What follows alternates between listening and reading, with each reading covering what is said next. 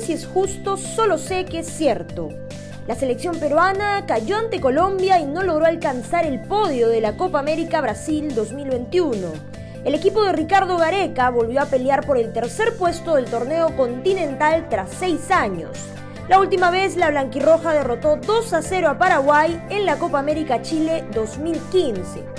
A pesar de no lograr el tercer lugar, la escuadra blanquirroja se volvió a posicionar entre los cuatro mejores de Sudamérica, dejando buenas sensaciones como equipo.